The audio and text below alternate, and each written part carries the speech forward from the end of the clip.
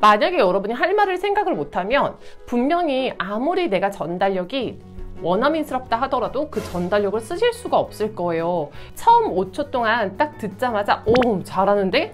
오 멋있게 잘하는데? 오 간지나는데? 이런 느낌이 있어야 됩니다. 안녕하세요. 해커스에서 오피를 가르치는 클라라입니다. 여러분 제가 학생분들한테 시험장 가기 전에 5초의 법칙을 기억하세요 라고 하는데요. 이 5초의 법칙은 무엇일까요?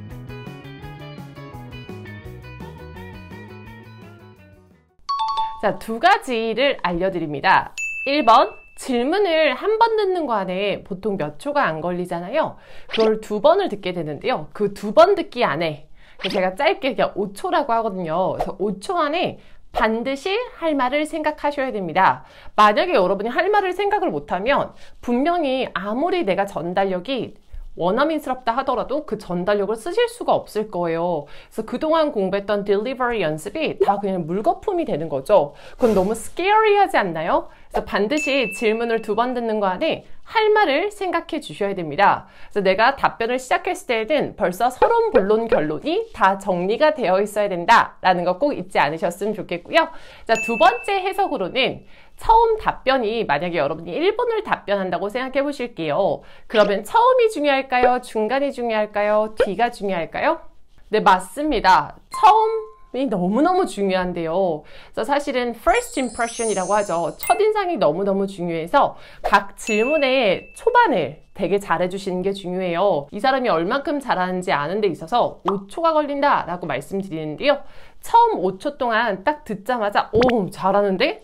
오 멋있게 잘하는데? 오 간지나는데? 이런 느낌이 있어야 됩니다. 그래서 5초 안에 간지나게 말하기가 매우 매우 중요하다. 그러면 이거는 어떻게 대비할 수 있을까요? 우선 첫 번째, 질문을 두 번 듣는 거 안에 답변의 스토리라인을 서론, 본론, 결론으로 생각해야 된다. 이거는 트레이닝을 많이 해주셔야 되고요.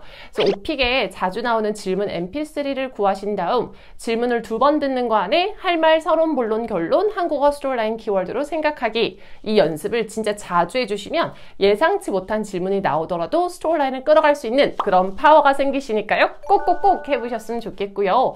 또 두 번째, 처음 시작 부분에서 멋있게 말하는 방법 뭐가 있을까요?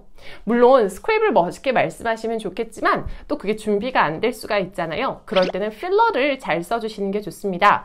처음 5초 동안 멋있는 게 중요하니까 처음에 일부러 외워놓는 거죠. 아 나는 이번에는 well 하면서 시작해야 되겠다. 아나 이번에는 oh my gosh this question is really difficult. But I will try my best to answer. 이 질문은 너무 어렵지만 저 최선을 다해서 답할게요. 라는 필러를 일부러 써주는 거죠. 그래서 그 사이에 할 말을 더 생각해서 되게 멋있게 그 뒤를 끌어가셔도 좋습니다. 처음 5초 동안 멋있는 게 중요하니까 뭐가 됐든 상관없어요. 필러를 연습한 다음에 그걸 그냥 넣어주시면 되니까요. 이런 식으로 대비하셨으면 좋겠고요. 자, 5초의 법칙 두 가지가 있었죠. 이거는 꼭 기억해서 시험장에서 지켜주셨으면 좋겠습니다. 여러분 시험에서 꼭 원하는 점수 받으셨으면 좋겠고 오늘도 오픽한 하루 되세요. Bye!